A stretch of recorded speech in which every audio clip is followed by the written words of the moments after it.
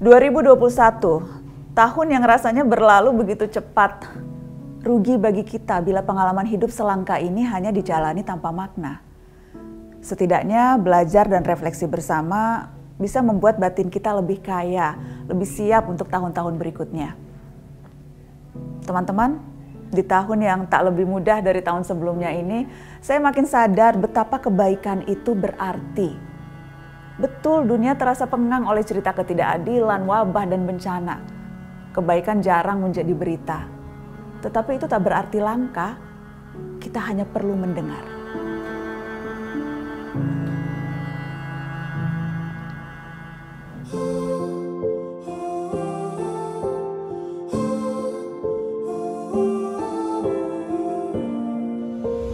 Kebetulan kan rumah saya ini memang dekat sungai Nah emang dah tuh biasa dah warga-warganya emang agak ya ngeyel, ambil gampangnya aja buang sampah di sungai. Nah dari hal-hal kayak gitu kan akhirnya nimbulin banjir ya. Ya udah saya inisiatif untuk bikin ah bukan bikin tapi lebih tepatnya menyediakan tempat sampah dengan berbagai jenis misalkan kayak sampah organik, anorganik ataupun B3. Biar apa? Biar warga buang sampah pada tempatnya dan juga sampahnya nggak kecampur kayak gitu. Jadi kan biasa aku kalau pergi-pergi itu naik transportasi umum, naik bis. Nah di bis itu kan ada yang namanya kursi prioritas yang harusnya diduduki oleh orang-orang yang termasuk dalam golongan prioritas. Tapi pernah tuh beberapa kali uh, aku ngelihat kursi prioritas itu malah diduduki oleh orang-orang yang sebenarnya nggak membutuhkan. Waktu itu uh, kebetulan ada orang yang sebenarnya prioritas, tapi dia nggak bisa duduk di sana. Jadi akhirnya orang yang sedang duduk di sana aku tegur. Dan akhirnya kursi itu diisi oleh orang yang emang seharusnya duduk di sana, orang yang membutuhkan. Nah, jadi aku kan akhir-akhir ini suka banget nih naik gunung, hobi baru nih ceritanya. Terus um, pertama kali naik gunung nih, aku naik gunung di daerah Jawa Barat, ya kan? Dan pas naik cukup excited, tapi sampai di atas excitednya turun bukan karena apa, tapi karena sampahnya berserakan banyak banget. Nah, sampah berserakan ini pastinya dari para pendaki kan. Nah, sebagai pemula nih, aku berinisiatif Gimana kalau kita turun, nanti kita bawa aja sampah semampu kita. Jadi uh, pas kita ambil juga pasti banyak pendaki yang lihat kan. Nah tujuannya apa? Untuk menyadarkan para pendaki untuk lebih bersih pada saat naik gunung. Supaya lingkungannya kembali estetik, kembali bisa dinikmatin oleh para pendaki selanjutnya.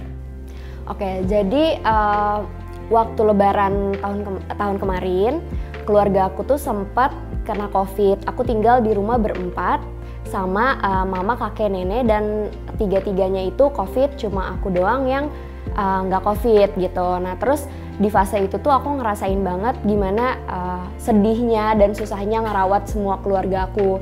Dan dari situ juga aku kayak menyesal karena sebelumnya keluarga aku tuh memang sangat nggak aware sama kebersihan. Jadi setiap abis berkegiatan di luar ketika masuk rumah tuh kita nggak saling mengingatkan untuk menjaga kebersihan. Setelah satu persatu negatif, kita uh, sama-sama sepakat untuk saling menjaga dan mengingatkan terkait uh, kebersihan dan kesehatan apalagi di masa pandemi ini gitu. Nah dari situ aku dan keluarga menyiapkan wastafel di depan rumah yang bisa digunakan untuk siapa pun khususnya yang mau berkunjung ke rumah uh, kita gitu.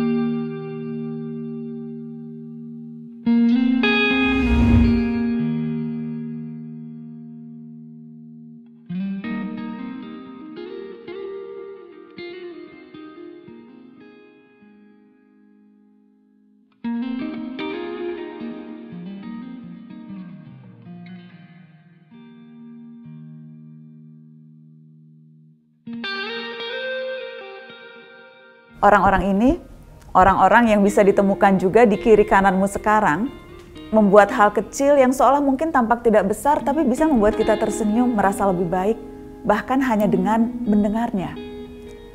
Setiap orang punya akses dan modal berbeda guna melakukan sesuatu, mengubah sesuatu. Ada hal kecil, ada hal besar. Keterbatasan bukan alasan untuk memadamkan kemauan Kisah-kisah yang keluar dari kursi ini tadi adalah tentang memaksimalkan peluang membuat perbedaan bagi orang lain. Terkadang kebaikan kecil membuat perbedaan lebih jauh dari yang kelihatan.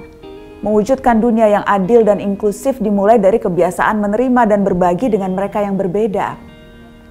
Sebagaimana pandemi mengajarkan, laku sehari-hari kita sekalipun berdampak pada keselamatan orang-orang di sekitar. Seperti halnya menjaga rumah dan lingkungan kita yang bisa dimulai dari memperhitungkan penggunaan air, listrik, dan mengelola sampah kita dari rumah. Selamat menutup tahun teman-teman. Tahun depan bisa jadi akan terasa lebih sekejap lagi. Tapi kali itu, sempitnya waktu tidak akan lagi kita sia-siakan. Karena setiap kamu bisa beri kebaikan.